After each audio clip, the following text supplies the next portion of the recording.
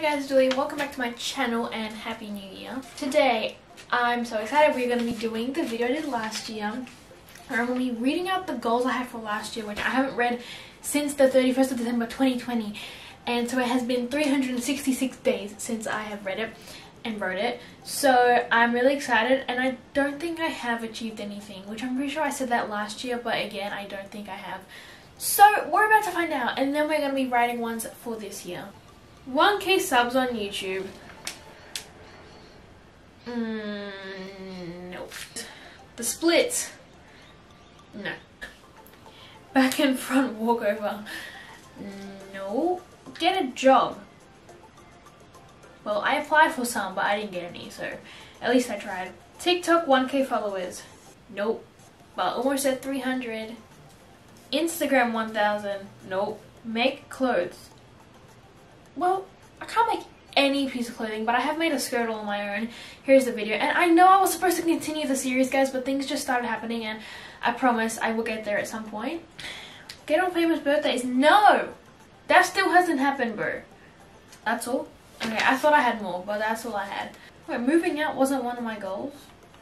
Okay, so I'm going to use the back of this because I don't know where I put the origami paper. Pen. Okay, so my first goal for 2020, I'm not going to do so much like YouTube goals, I'm also going to do like actual goals in general. Like, I just want to, um, don't want to say be healthy, maybe like, um, just exercise more. Um, I want to get on famous birthdays. That is my biggest goal at the moment. Did you guys know, now that it's 2022, I can say that next year I'm turning 18.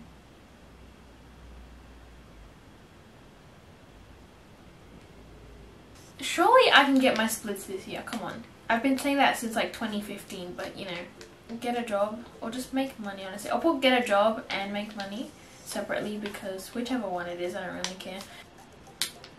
What else do I want to do? I'm gonna graduate, so that's gonna be so much fun. I'm gonna drive, so what I, like, get my driver's, like, you pass my driving test, I guess? If my teacher ever gives me the certificate.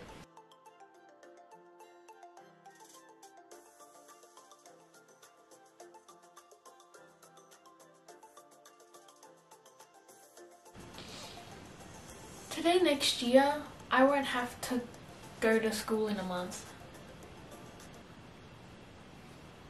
Um, eat healthy, which I've been saying since 2020. Okay, so those are my goals. So exercise more, get on famous birthdays, get a job, get my splits, make money slash get an income, pass my driving test and eat healthy. I think that's better than last year's goals because last year's were all about like followers, which I can't really control. So yeah, but um, you can actually go on live TikTok now if you have 500 followers and I'm more than halfway there so that might happen. Actually I'll put that there just in case. I'll put like go live on TikTok. The video was meant to be filmed yesterday I don't know what day it's coming out, I'm sorry, but anyways, that is the end of the video and I'm pretty sure I did something else in last year's video because I remember I did like something else other than this. So I'm just gonna go quickly check on the video. Okay guys, so because in that video I kind of did like a last day of 2020 vlog, but because obviously now it's 2022, like I can't do a last day vlog because it's literally the first day. So I'm going to um, give you guys a little haul of what I got for Christmas. So I don't have everything here because some of the stuff is like put away, but from my mum I got three pairs of Nike socks. One is currently in the wash because I wore them yesterday. Then she got me these shorts I got a lot of Nike stuff. I'm very grateful. I wasn't expecting all this. Um, this. By the way, just so you know, I didn't actually ask for anything for Christmas because like I don't want. And then I got this for my birthday. Then I got ow. I got these two face masks. We have green tea and avocado, and the colors are very like therapeutic. They're very calming colors. So you guys saw everything my mom got me in the vlogmases. And I got this like skincare pack it comes with. It comes with um this daily foam cleanser, a mud mask, a moisturizer and there's another cleanser but it's on my um, drawers. I'm very grateful for everything and so that was also very quick but thank you guys for watching this video. I hope you have a good year because last year wasn't good for me. And I saw everyone say like oh my god I'm gonna miss 2021 like okay good for you then because I did not like 2021. I saw this one person they posted they said 2021 was bad and I was like yeah I agree. Um I was gonna do that. Actually at the beginning of this year I had in my phone on my notes I had written a list of 2021 highlights and I put every month and then every month every time something fun or memorable happened I'd write it down there. So then at the end of the year on Instagram on Instagram I could be like January this this and this and like put photos of it and stuff.